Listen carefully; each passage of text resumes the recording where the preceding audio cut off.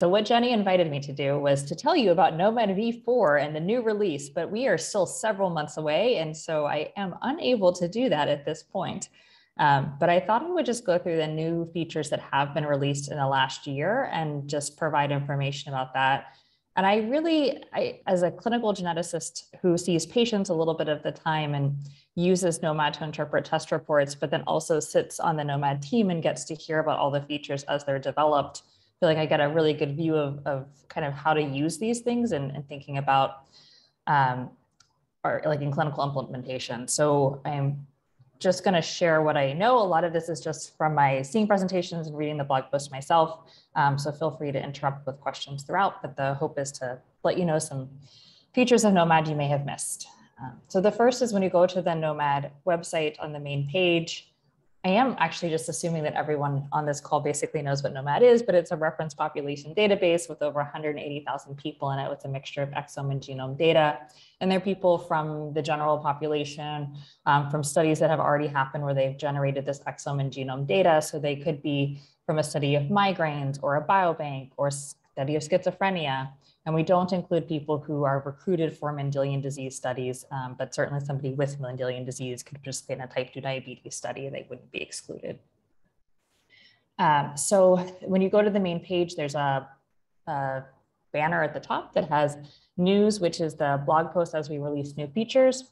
And we've more recently added this change log also, which is another place you can go. Um, and it has like smaller release features. And I'm actually just going to show you sorry, the little pictures are in my way. So if you were to click on changelog, you'd see like this how to zoom in feature is now highlighted. So on every gene page, there's a little box at the top that says uh, click to zoom. And so you can zoom in on certain exons or things if you want.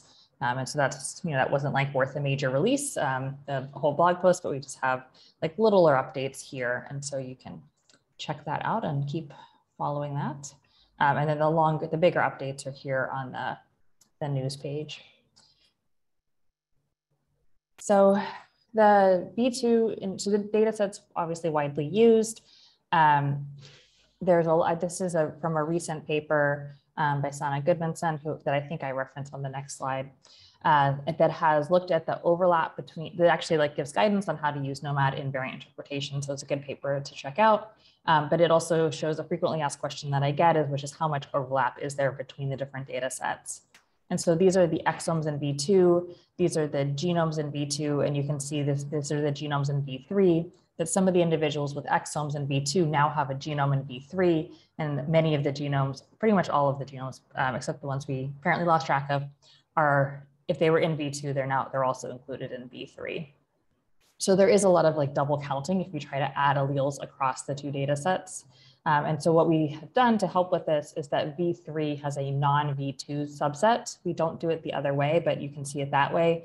And part of the reason we don't do it the other way is, is just, again, time and resources. Um, but we are moving towards having V4 soon, which will have all of the current V3 genomes on GRCH38 and will additionally have over 600,000 exomes, including the UK Biobank data, um, all on GRCH38 as like a new unified call set. I do believe that that will be ready sometime this year. It's been hard to know exactly when. Every time we make a new gnomAD call set, it's just so much bigger than the last one. And so the, the problems and issues and challenges don't scale quite as we're predicting. And there's always new things that come up. So um, the team is like, this is what we are working on full steam ahead. We have all the sample, like the call set has been determined, but I actually don't even know how many people will be in it because it starts much bigger, but remove related individuals and non-releasable samples. And so it, it shrinks down some. And so I don't know where we'll end up, but we're hoping over 600,000. Um, I do want to mention, actually, I would really appreciate help from this group um, to spread the word about this. Um, so we've had some people leave the gnomAD team recently, and this is another thing that has slowed down development. So we currently have a posting for a PhD computational scientist and for a front end developer, Nick Watts, who like makes the whole gnomAD browser and, and all the features in it has moved on to another team. Um, and so we are looking for people to fill these roles. So if you know anyone, friends, cousins, you know, any anyone you can tell about this, um, we have links to the ad, the job postings right on the gnomAD page. Um, please spread these through your networks because that will help get you these resources faster as us having um, additional new team members to help us generate the, these data sets. Uh, this is just showing sort of how many rare variants there are of different classes. I liked this. This is how many variants that an average individual has um, that are absent from gnomAD. So this is, I think, just the exome data. Um, and so if you take someone of European ancestry, um, they have about 25 to closer to 30 variants that are absent from gnomAD, whereas somebody from um, this is African American ancestry typically because we don't really actually have people from continental Africa in the gnomAD data set yet, but we are working on that. Um, then we have a closer to you know 45 variant, variants that are absent from gnomAD. And so I, I view variants that are absent from gnomAD that come up in somebody's exome or genome as variants of uncertain significance that we have to deal with on clinical testing. And so you can see that while it's actually better than I actually initially thought it would be, that we still have a lot of discrepancies according to different ancestries. Okay, so moving into some of the uh, features we released in the last year. Um, so short tandem repeats, so these actually have the high, a very high mutation rate. They contribute the same number of de novo mutations per genome as single nucleotide variants, indels, and structural variants combined. There are approximately 60 STR loci that have been identified as causing monogenic Mendelian disease. You have to think about the repeat length, but also the actual motif. Um, for example, uh, biallelic expansions of AGGG motif cause this CANVAS syndrome. Well, if the expansion is an AAAAG motif, it does not cause disease. So there can be additional complexity to that. Um, and we use the ExpansionHunter um, tool or algorithm um, from uh, Dolzhenko et al. Uh, that's from basically developed at Illumina. Um, and it's been run on 19,000 whole genome samples from gnomAD v3. And you can read the blog post to get more details for this. Um, but this work was all done, actually led by Ben Weisburd, who's done the majority of this work here. Um, but Grace Van Noy, uh, along with others, helped, and Nick Watts was again the one who made this, uh, developed the browser for this. So there are mostly dominant loci, but all the different kinds of loci. There's 59 STR loci that are included in this new release. Um, and some are coding and some are non-coding and just kind of a mix of different things. And we pulled all this data from this one paper here and then these other resources. Sort of the classic STR motifs that we think about are these three base pair motifs, but there are some of varying different sizes. Um, and so the one of the things is you actually in ExpansionHunter you have to tell it what not just the like what the actual motif is so like cag and like the classic polyglutamine. Um, and so he ben did a, a training first to actually like read what the their variety of these motifs was for these 59 loci in the gnomAD data set and then he trained on those variety of sequence motifs. Um, so we should have data on not just like whatever the classic motif is, but like if there are others that we were detecting in the gnomAD data set. And the best place to see all of this together um, is just going to this STR table on gnomAD, which I already opened here. Sorry. Too many things getting in my way. Okay, so this is the STR table, but I believe if you go to any gnomAD page, I think there's a link to it also. So if I went to like the, the page for the Huntington gene, um, it should be somewhere on here, STR. Ah, okay, sorry. You'd have to go to the page and then you'd have to go to gnomAD V3 because this is only for V3. And then this gene contains a pathogenic short tandem repeat and you click on that and it would take you to the page. But we're gonna look at, so this is all the different loci that this has been done for um, and sort of the classic motifs here where the motif is. And so you can go into um, anything you'd like. I'm just gonna go to the myotonic dystrophy repeat here just because it's one I do use clinically or I test for clinically occasionally. You can see it's in three prime UTR. And you can, so autosomal dominant, this is, it's got the range of this sort of intermediate range and then the pathogenicity range. And then that's what we divided the data, Ben has divided the data down over here. Um, you have to remember that gnomAD is really big. So there's a lot of samples over here. And so it initially shows you in linear. So you see that like, oh, there's nobody in the intermediate pathogenic range. You actually have to change the data to log to be able to see individuals show up here because there are just so many people with very like uh, repeated numbers in the normal range. You also have to pay attention to the repeat unit. For most of them, it's just one repeat unit, but if there was different um, types of repeat units. You would click here and you could look at just the ones you wanted. You could choose if you just, this is X-link. So if you just wanted to look at repeat lengths in males or females, you could do that, or you could look at some subpopulation and again, combinations of these things. Um, so lots of things you can play with there. And then coming down, I do, sorry, I think the things up here, yes, do change the things down below. Um, so down here, you can actually see the repeats um, in combination. So everyone well, females for this X-linked one I've selected would have two copies of this repeat. And then for uh, autosomal ones, everyone would have two copies. And so you can see like somebody who has um, this 90 to one, 90 to 91 repeats on one allele has 10 repeats on the other allele. Um, and so there's one individual here. So you can click over and like view things. And again, you can click on it and, and see more information about it.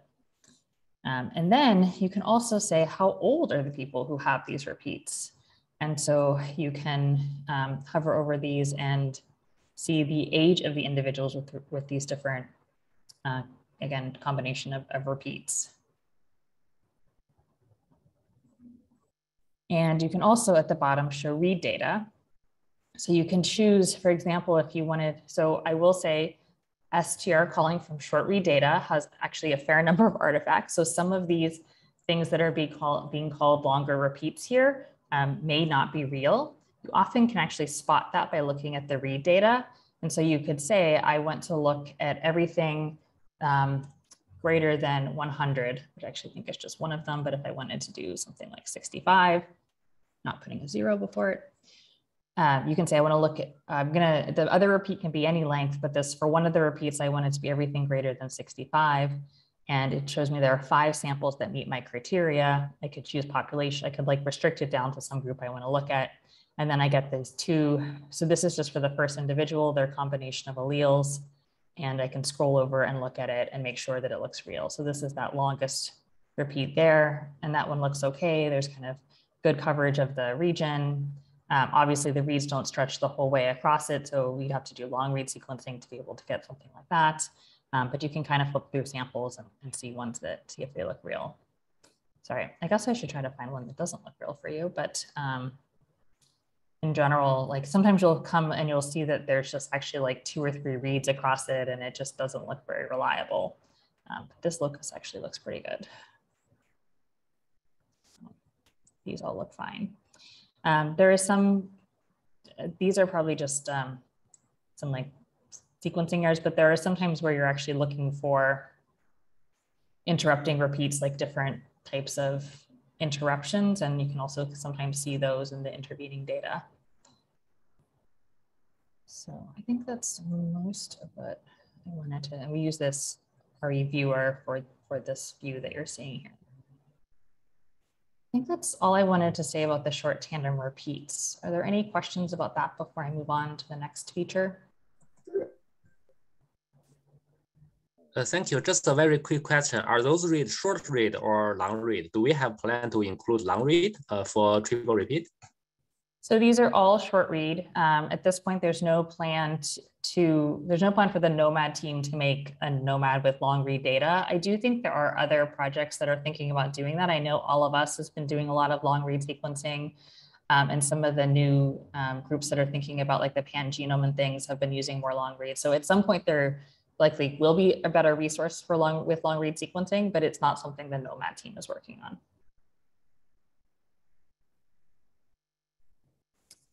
Any other questions?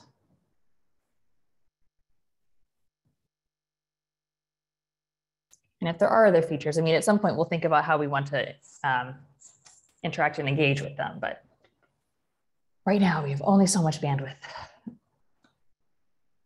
Okay, um, ancestry and gnomAD. So um, this was a something I actually found in one of the blog posts that I thought was an important point. So ancestry is a statistical construct based in the genetic based on the genetic variants that an individual inherits from their ancestors, race and ethnicity or social constructs and group and group people based um, instead on perceived physical, geographical, cultural, or other social characteristics in everything we talk about and present in gnomAD, we exclusively refer to genetic ancestry. And the assignment of an individual's genetic ancestry is, does, is not equivalent and does not negate how an individual self-identifies. And in fact, there's no there's nothing in gnomAD that is has is necessarily related to how an individual self-identifies because um, all the data, all the ancestry data we report is computationally and statistically defined by the principal component analysis. So we have no information about how any of the individuals in gnomAD would actually identify. Uh, so one of the things that uh, Mike Wilson has um, been working on in collaboration with Elizabeth Atkinson, who's now a PI um, at Baylor, along with Grace Tiao, who leads the gnomAD Methods team, is local, ancest local ancestry inference. So all gnomAD version 3.1 Latino or admixed Americans, which is about 7,000 samples, um, have been used to for local ancestry inference. And I'll explain a little bit more about what that means and why we're doing it. Uh, the except for this like subset data where we actually used it in training data. Uh, the, this inference is available for all biallelic variants with low genotype missingness, so a high call rate and, and that have an allele frequency greater than 0.1%. So admixture is the consequence of long distance migrations of ancient populations. This is not my area of expertise at all, but um, these migrations happened through the Bering Strait from East Asia around 15,000 years ago. There was a European colonization in the Americas in the late 15th through 18th century, and then the transatlantic slave trade from primarily West Africa in the 16th and 19th century. And what happens then is as you have all this migration and, and mixing of cultures, um, you also get mixing of chromosomes that go along with that.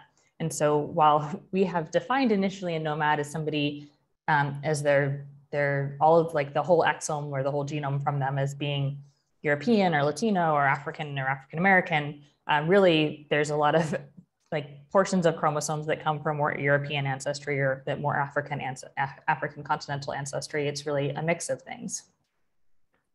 And we can actually deconvolute this mix of things. So while we use the admixture program just to get a sense of um, how much admixture there was in the just uh, for now, everything I'm talking about is the Latino admixed Americans population, uh, the exome and genomes from, from, actually this is just genome data. So the genome data from this population. And we used a 5% ancestry inclusion threshold. So of all the individuals that are labeled Latino admixed American in V3 of gnomAD, 5% um, were from a single continental population, which you can see here, or primarily from a single population uh, continental population. So fewer African, fewer American indigenous, and a few were European mostly. 60% were from two continental populations, so mixtures as you see here. And then 35% were actually from three different continental populations. So this data is generated with admixture, but the actual pipeline we use for that the, the team uses for local ancestry inference is different. Um, it uses the EAGLE program for phasing of the variants. Once the, we have a phased VCF that uses RFMix for the local ancestry inference. Once we define the ancestry windows, they extract that with Tractor, and then they assign the allele and haplotype counts using a VCF generated through Hail. And so while I said initially everyone was just sort of assigned the, the label of Latino, African, or sorry, Latino admixed American, um, now the chromosomes have been deconvoluted like this. Um, so both phasing and what continental population they come from, uh, the variants come from, and so we can actually provide more information. And so I'm just going to show you an example on one, one variant just to show you what this data looks like. Um, so I picked this variant that has been seen in COL27A1 to cause Steele syndrome and is a founder mutation in the Puerto Rican population. And so I've actually opened that page already. So um, again, so this is that same variant here. It's, I should say, sorry, it must be yes, in this collagen 27A1 variant or what A1 gene. Um, you could go down and see that you know, the variant looks real and all that. Um, and so this is found in 44 people of Latino admixed, ancest admixed American ancestry, along with a few in other populations.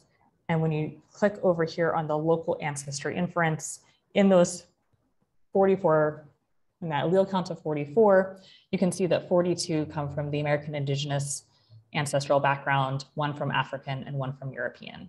So it can just help break it down a little bit, um, which may or may not be useful in, in variant interpretation that you're doing. Um, so this will, I, I think the plan is probably not initially when V4 is released, but, but later on we will include uh, local ancestry forensic data for the Latino admixed American populations in gnomAD V4, and eventually we'll be expanding this to African and African American ancestry individuals. And one thing I do think this will help with is we haven't been very good at having representation from continental Africa. So at least now we'll be able to tell some of the alleles that are coming from continental Africa in addition to hopefully being able to include more data sets from, from continental Africa in the, the resource altogether. Any questions about this?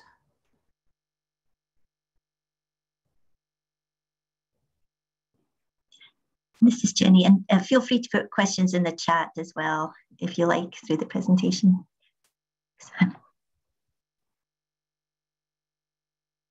I overall, like if I see a variant that's like very common in one population, but my end my person's not of the same population, I still think if it's like benign in East Asians, it's probably benign in somebody somebody from uh, somebody who's African American. On the other hand, the only time I think a little more carefully about that is if there's some kind of environmental influence that's different in that disorder. But for the most of the disorders, I think about in rare disease space, um, there we don't know a lot about the environmental components or the environmental components are very, very small compared to the strength of the genetic impact. Okay, variant co-occurrence. So I think this one has been a lot more um, used in rare disease work. Uh, so this is a method for statistically phasing two variants in gnomAD, um, and it's for rare coding variants in gnomAD v2. So I know that I'm showing you various tools that were being developed um, and some are in V2 and some are in V3 and there doesn't seem to be a lot of rhyme or reason to it. Uh, some of the rhyme or reason is whether it needs exome data or whether it works fine on exome data, in which case we tend to have done it on V2 because that's where we had more exome data versus anything that needs genome data it's been done on V3 because that's where most of our genome data is. Um, but again, in the future of V4, we're hoping to move everything onto GRCH38, and we hope that um, the labs will follow so that we can just kind of build resources there. Although now the new builds of the um, the T to T alignment and things like that are coming out. So alignments will still be a thing that we will continue to talk about. Okay, but the idea here is um, if you have two pathogenic variants in a person, um, you can't, if you just have the exome or genome sequence of the child, you can't actually tell if these are in two different haplotypes or not. Um, but if you were to know that one came from the father and one came from the mother, then you would know that they were in trans, whereas if both came from the father, then they would be in cis. And if they're in cis, they would generally not cause an autosomal recessive disease, where if they're in trans, they would. So variant co-occurrence principles is that genetic relationships between two variants or phase is shared across individuals in a population. So if two variants are in cis in many individuals in a population, then they're likely to be in cis in a, somebody else's DNA that we encounter. And if two variants are in trans in many individuals in a population, then they're likely to be in trans in somebody else's DNA. So these relationships are only disrupted by one of two processes, so recombination between variants, but because in recessive disease, we care about variants between um, within the same gene, there doesn't tend to be that much recombination happening um, at the distance of within a gene, even for very big genes, but as the gene gets bigger, that, that does increase a little bit. Um, or things like hotspots, recurrent mutations will definitely mess up this analysis because these mutations can will be occurring multiple times. And so in some cases will be in cis, in some cases will be in trans if you're having the same variant enter the population multiple times. But aside from those situations, for the most part, the, these first two things hold true. And that's what we're really focusing on here. So um, I should sort of skip this, but this was all work done by Laurent Francioli um, when he was a postdoc with Daniel MacArthur and Michael Guo, who was a, a graduate student with Joel Hirschhorn. Um, and so they have both moved on to other things, and that's part of why this hasn't 100% come out. Um, but uh, Michael's actually trying to, to get this finished up now and, and hopefully get this published and shared with the community. Um, okay, so they took them uh, actually a pretty, they tried a, a bunch of different models. Um, they actually had a little problem with overfitting of the data with some of the newer models. So they went back and just used one of this older model that worked pretty well um, from Excoffier and Slatkin. And they have applied it to any variant with a global allele frequency of less than 5%, so any kind of rare to semi-rare variant. Uh, we've restricted it to either coding, flanking intronic, um, so minus one to minus three for acceptor sites, uh, or plus one to plus eight in donor sites, or in the five prime or three prime UTR. Uh, for this feature to work at all, both variants need to be in gnomAD v2, or you just don't have any, there's no data. Um, and you may think this is very arbitrary numbers, like there are times when you want deep intronic variants, or actually just variants that are a little further out from the acceptor or donor site. Um, these weird numbers actually are just because that's what variant effect predictor or VEP, um, the science has assigned as the flanking exons um, definition and or the near splice site definition. Um, and so we're kind of stuck with, with that for now. And um, being able to do it for everything deep intronic would just, because we're doing combinations, would just create an immense, immense amount of data. And it's just um, a little bit computationally and data storage wise, but just very, very expensive the more we expand this. Um, and so we haven't, this is what we're starting with. Uh, so as I said, this is basically what I said, we can selected these to reduce the computational and storage burden of the data while focusing on variants likely to be of greatest importance in medical genetics. These calculations, while we use the cutoff to include a variant or not based on the global allele frequency, the calculations are performed separately for each continental ancestral population in gnomAD, as well as an aggregate across all gnomAD samples. You can get to this co-occurrence lookup here by finding co-occurrence of two variants. And then when you're on a variant page, I'm always like copying these variant things. And like this has been around for a while, but I had not noticed until Nick was like, what are you doing? Um, and it has, he has added this copy variant ID button and you just like push that and then it copies the variant ID and then you can paste it in somewhere and it's in the right format. And that has been like very time saving for me now that I know that that is there. Okay, so the idea here, sorry, this is kind of small, is um, this gives you for a combination of two variants that you put in, um, which I'm just showing you kind of the results. I do have two variants we're going to put in next where I will painstakingly show you what it, how it, I actually do this. Um, you basically are looking to see uh, how many samples are consistent with the variants being on different haplotypes, how many are consistent with the variants being on the same haplotype, and how many are consistent with either pattern. And then you're kind of looking if things that are consistent with either pattern should really be in Hardy-Weinberg equilibrium, so just how often they occur by chance. Um, and so those numbers should be much, much smaller. Um, so this is what you're seeing here. So most of the time these appear on to be on different haplotypes and that they're in different people. They only co-occur four times. Um, and that's about the number of times you would expect them to co-occur by chance, just by like um, variance, you know, the, by like random assorted segregation and all that. Um, so this is how often you would see them by chance.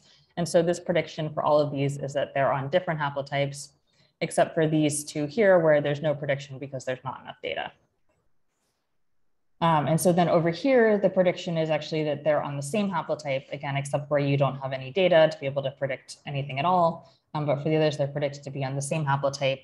And that is because they are co-occurring um, more often in the same individuals than they are in different individuals, suggesting that they're in cis. So if a variant, if variants are predicted on the same haplotype, um, I would downweight these, these variants as a candidate for recessive disease. It doesn't 100% mean just because they're on different on the same haplotype in gnomAD that they're guaranteed to be on the same haplotype in my person, but um, they're most likely on the same haplotype in my person.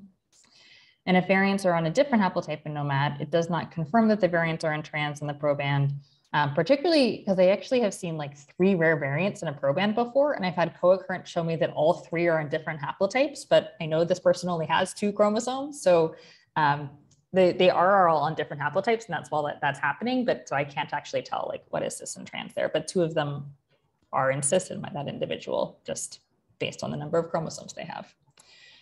Um, and then we need to really, so I think the modeling works pretty well for the population, but really how well it works for thinking about an individual person, um, we're still evaluating that. And so um, it's never going to be a perfect method. I wouldn't base too much on it, but it, it, is a very helpful method. Um, and so we also um, got a question that we'll go into this a little bit more, but uh, we wanted to eventually develop a thing where you could put in a variant, like a missense variant, and actually ask if anyone in gnomAD has ever had that missense variant co-occur with a loss of function variant.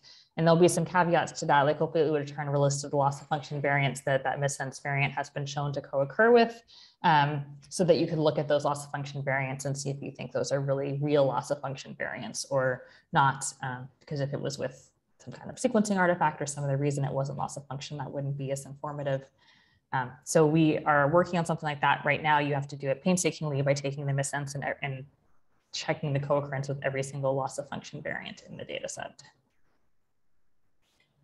Okay, so I'm just going to show you, because we have a fair amount of time still, I'm just going to show you for these two variants in the H2A gene. So this is just the seqr interface where we do our analysis. And if I were actually in seqr, I could just click this link and it would take me to the variant page. Um, but when I have diagnostic reports, I don't have that option either. So I um, would have to just go into the data. The first thing is that both of these variants are in V2, that they both have allele frequencies here, so that, um, and they're both missense variants. Um, so this is something that we can actually, should be able to look up the variant co-occurrence in them. So the way I would do this more painstakingly is I would go to gnomAD V2.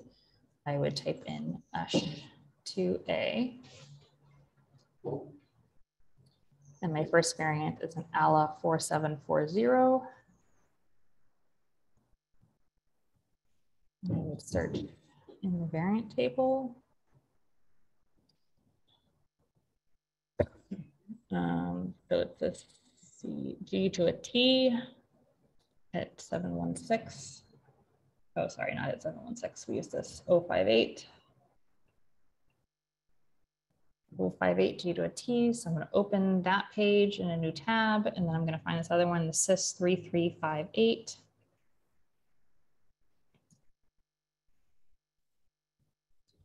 Uh, so that's that missense variant goes to a tyrosine. It's at position 510 in the C to a T. 510, C to a T. Okay.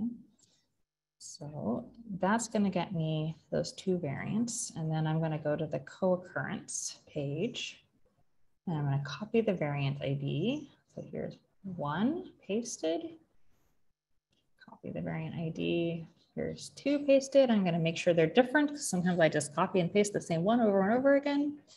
And I'm going to hit submit. And so these two variants um, don't have a lot of data on them.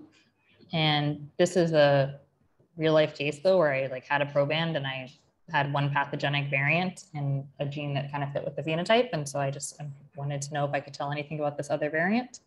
Um, and so basically, this has not been seen to co-occur in any individual um, in gnomAD. So um, in Europeans, it's predicted to be on different haplotypes. So it's very limited data, but this would be enough that I would say like this variant stays in my variants that I'm considering um, for potentially being a diagnostic variant in this case, um, but I certainly don't feel like I've proven that um, and I would need additional information. But if it's a good fit for the phenotype, I don't know, I think this is the one they actually thought that this one was. Uh, there's some conflicting interpretation on one of them and there's a question in HGMD, but um, I think it adds a little bit of information to just say there's nothing that suggests that these are in cis and are like most likely on different types.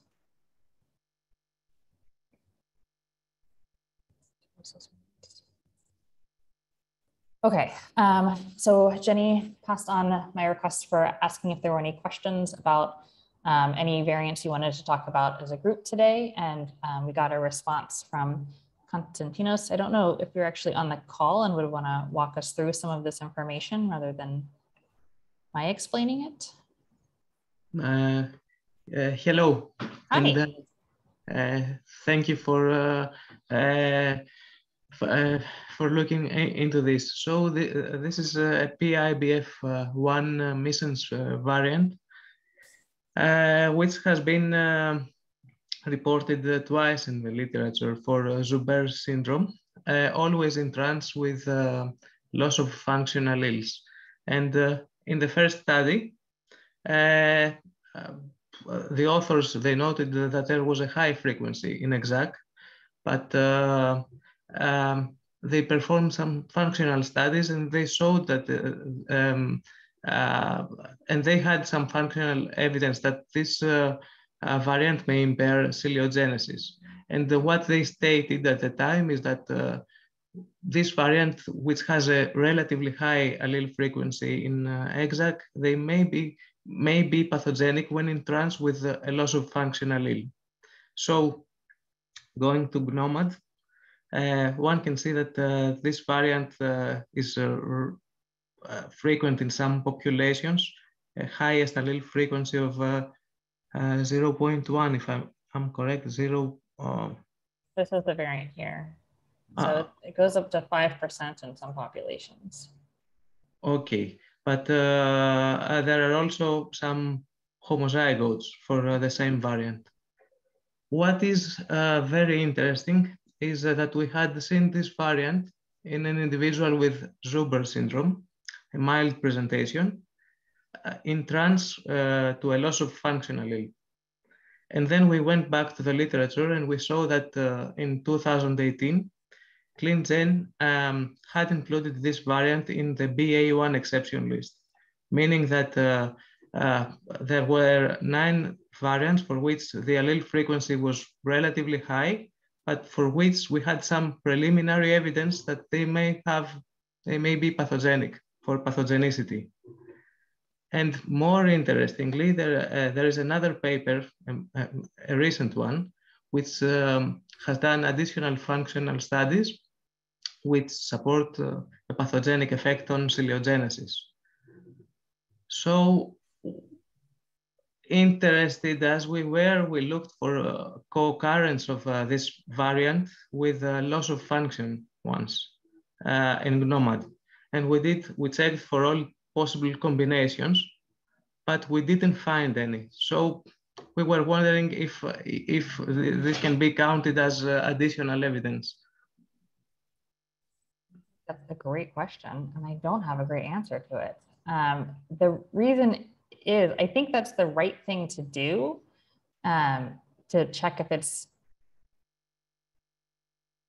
in trans to any loss of function variant in the general population, because if you never see it in trans, that should be some evidence that it is that that combination would be deleterious and not necessarily included in gnomAD. Um, I was just looking, so you have like a lot of loss of function variants that you're checking. I mean, overall, altogether, because it's very rare, it's probably like 100-ish people um, with loss of function variants. And sorry, I can't figure out what to do with that. Um, so you're not really querying like that much data and that it's just like 100 people you're looking at. It's interesting that it doesn't, I mean, it's good it doesn't co-occur. That is consistent with. It's just like a question of if it's actually like really supporting or moderate evidence even. Um, and some of it is you'd have to kind of look at other missense variants of similar allele frequency and get a sense of like, do they also, if you did the same thing with other missense variants, would you see that those are co-occurring with loss of function variants at a similar frequency? So you could try doing the same analysis, like cross-referencing these other um, variants that are similar allele frequency. And if like all of those did co-occur with the loss of function variant, you'd be like, oh, it's interesting that this one doesn't co-occur. Um, but if none of them co-occur with loss of function variants, then it'd just be like, well, that's probably just not big enough numbers to actually like be able to see this this like this co-occurrence just isn't very likely at these low numbers. Does that make sense? Uh, yes, I believe that this variant, um, which is uh, the third one in uh, your in uh, your table, has been seen three. yes, exactly. Uh, so there are con conflicting interpretations uh, in ClinVar, but I believe that there are around 3,000 heter um, alleles uh, in uh, total and uh, around 300 homozygous persons in GNOMAD. But sorting out all truncating variants or likely loss, loss of function ones, we did not find any co-occurrence. So we were wondering if, yes. Right, but the problem is there's only like a hundred people with a loss of function variant. So like just what is the chance of like those 100 people would have both this variant which is present in 3000 people and a loss function variant which is only present in about 100 people in gnomAD. Like that that seems most statistically most likely that those variants wouldn't co-occur just by chance in these population sizes potentially.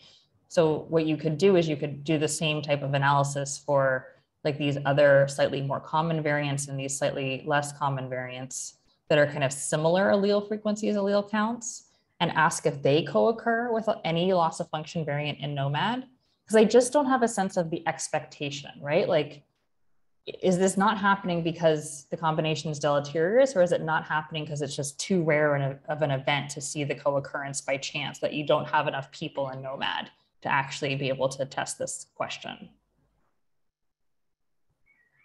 Yes, I understand yeah. So you could try it with these other i know it's very time consuming to have to enter all those different variants in but you could try it with these other ones and just to get a sense. Um, as i said we would love it we, like i it's on like my desired feature list to be able to say yeah can i just ask about like any variant in gnomAD sorry not Center, but any variant in gnomAD and does it co-occur with any loss of function variant? Um, it's like it that will hopefully one day be a feature, but it I, I, actually I don't think it will be a feature this year. So right now it's just this manual thing you have to do. Um, and hopefully eventually we will get our act together and be able to add that in. Okay, thank you very much for uh, looking into this. Yeah, thanks for sharing the variant and asking the question. Uh, and then I see there are some potentially some other questions in the chat, but I'll, I just wanted to mention the mitochondrial data has came out more than a year ago, so I did not include it in what I was going to talk about today, but the paper just came out in the last year. Um, so there's now a paper on mitochondrial variants across 56,000 people in gnomAD um, that is available in Genome Research as open access. And this is Sanna's paper that I mentioned that is, we tried to write up like how to use gnomAD and variant interpretation. Um, and so would recommend everyone check that out. Both of these are open access papers. Um, and then again, thanking the whole team that makes the gnomAD resource. This is a huge, huge group effort, both of this team and the many, many um, over, over 150 PIs that contribute data to this resource. Um, and again, we are looking to expand the team. So I'm very interested in, in having others join. So let's see what's going on in the chat.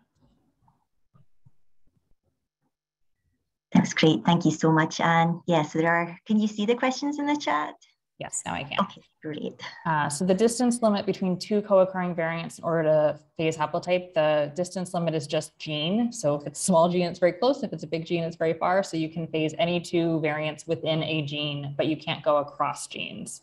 Um, the concern as we make things bigger, like we don't want to, we have to be careful that the none of the data is ever identifiable. And so we don't want people to be able to like chain things along and like reconstruct genomes with this data. But As long so as long as we keep it within genes, that will protect that from happening. That's why it's not a distance limit, but a, a, a gene limit.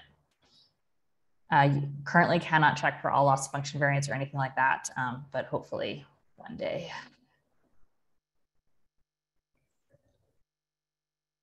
So one of the things we're doing in terms of like incorporating this in as data in PM3, I just don't have a great sense of this um, thus far. We are looking at, um, uh, we're, so we're like the method release, the data is released uh, as, as is our, our normal approach um, where we've done some, some QC of it, but we still like continue to QC the data after we release it.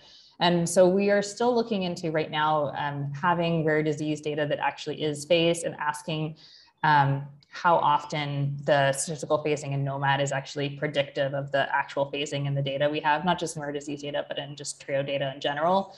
Um, and so it is imperfect uh, and it sort of ranges between like it's like around 90% most of the time. And so we're trying to look at like where that 10% where it's like incorrect, what's going on there. And that's why like I think it's useful data, but I just don't want, I don't know how we can make too much of it um, at this point. And so we, again, we're still looking into that and we'll have more. And I think based on having more data like that, we'll be able to, and so that's something also people can do with their own data, their own trio data sets is like, you can take them and like look at the statistical phasing and like ask how, how often is it right and how often is it wrong um, based on what you, on having like known data sets. Um, and I think we're gonna need that kind of data and that kind of study and put that out to be able to incorporate it as PM3 or or as, as a criteria.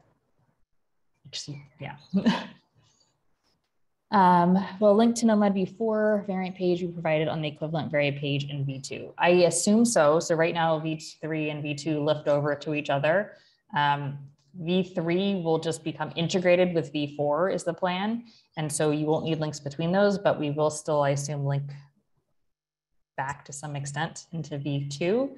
Um, although we are really encouraging everyone to move to GRCH 38. Um, a lot of uh, errors in GRCH 37 and hg19 have been corrected there. Large groups have been working on this for a long time. Um, and so we think it's just going to be a better resource for a lot of genes. I know there are a handful of genes that actually 37 still works a little bit better. Um, and there are some genes where actually like uh, at filling in more gene duplications and other like genomic duplication events have actually made some of the short read sequencing work less well in 38.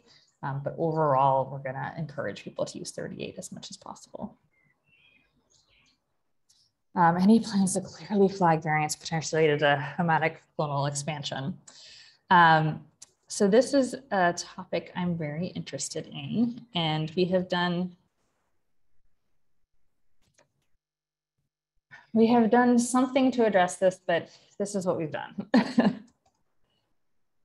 um, so clonal hematopoiesis is with aging that there are, you can get, you can acquire variants in your hematopoietic stem cells that go to high allele frequency um, or at least detectable allele frequency in your blood. And that, that we know that these just happen with age. And so it's very confusing, particularly when they also happen in disease genes, because these are actually somatic variants that are um, that are not germline. And so what the problem is actually, if you go, so this is the ASXL1 gene, um, which is a response, is a haploins, actually, it's unclear if it's haploinsufficient or a gain of function through truncation type of thing, um, but it's a dominant disease gene for where loss of function variants cause um, severe de developmental syndrome. And so actually just go through this. So this is, so showing you the gnomAD page with the transcript here. Um, I go to looking at pathogenic variants only in ClinVar and I expand to all variants. And you can see it's all these loss of function variants with an X's here. I guess there's like a few missense variants that have been purported, but it's mostly loss of function variants. And so the, the other thing you can do is you can, so this is a dominant condition. It's a severe developmental, these children often like they often don't walk or talk. They have severe delays, you would not expect individuals with this condition to be in the gnomAD data set. Um, and if you click and look at people, sorry, pathogenic ClinVar variants that are in gnomAD, you actually see a handful of pathogenic variants that are actually in gnomAD. And what's happening here is that these are real pathogenic variants, but that they are um, they are somatic when you look at them in gnomAD. So if you look at this one here that's in seven people in gnomAD, it's a stop gain variant. This has been, this actual specific variant has been found in a number of people um, with Bohring-Opitz syndrome, um, but, it, but it's in seven people in gnomAD, which doesn't make any sense. Um, and when you come down and look at it, what you find is um, that the allele balance is skewed on this.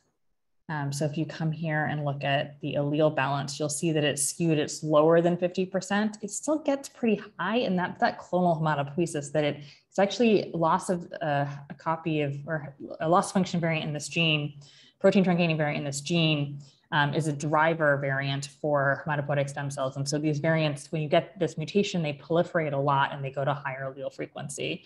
Um, but this variant also occurs in individuals of kind of older age. So you can see a, like a little bit of a skew in the distribution. And when we looked at these variants in aggregate, um, which we actually published on, we definitely see that there's like a, a skew in the age towards older age for these um, somatic variants. So we haven't flagged them as individual variants because like, and we don't have like necessarily like proof which ones are clonal hematopoiesis or not. The way you would prove that is you would need another tissue from the person to look for the variant in like skin fibroblasts or something. Um, and we obviously do not have any of that for gnomAD individuals.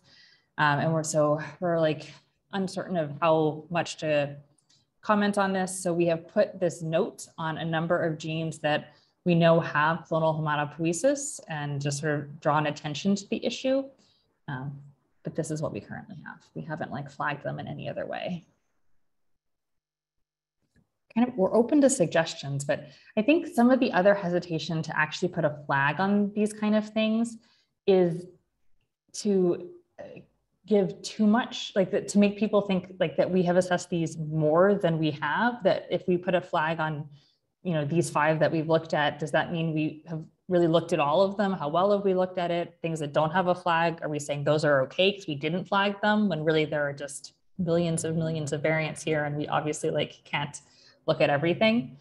Um, so yeah, that's what we've done so far. So this is on a number of genes that have this issue, but probably not even on all the genes with this issue.